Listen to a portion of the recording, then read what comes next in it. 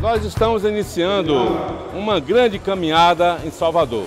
Uma caminhada vitoriosa para eleger Alice Portugal, prefeita da nossa cidade. E nós estamos também nessa caminhada vitoriosa apresentando o nosso projeto de reeleição à Câmara Municipal de Salvador. Estamos discutindo com os trabalhadores o nosso mandato, o que, é que nós fizemos, qual é a nossa ideia sobre, sobre Salvador, quais são as nossas propostas, como é que nós estamos avaliando esse quadro político nacional. Everaldo se destacou ao longo desses últimos quatro anos como um dos vereadores mais atuantes e mais combativo em defesa da população mais pobre de Salvador.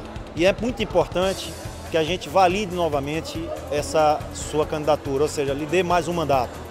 E com a ajuda de vocês, com o apoio de todos vocês que amam essa cidade, que adora Salvador, que é uma cidade mais humana, uma cidade mais participativa, onde os direitos sejam mais iguais, sobretudo aqueles que mais precisam, precisam, necessitam votar no nosso vereador Everaldo Augusto. Conto com seu apoio, conto com sua participação efetiva nessa candidatura, elegendo ou reelegendo Everaldo Augusto como vereador de Salvador. E para a prefeita, a grande novidade, uma mulher combativa, uma mulher que tem ideologia, uma mulher que tem já serviço prestado à Bahia e Salvador, Alice Portugal. Um abraço para vocês, estamos juntos nessa caminhada em defesa do melhor para Salvador. E melhor para Salvador é Everaldo e Alice.